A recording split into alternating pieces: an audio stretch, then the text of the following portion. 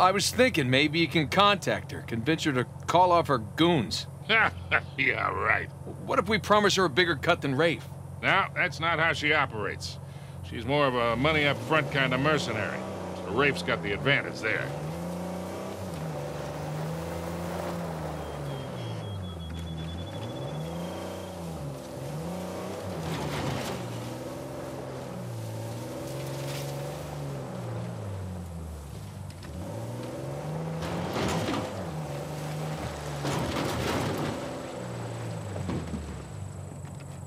Look, shoreline.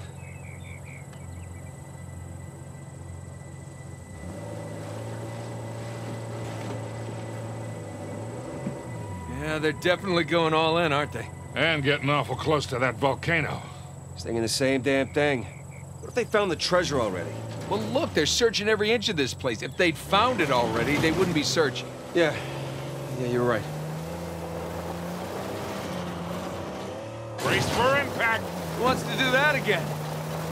No? Hey, Sam. Oh,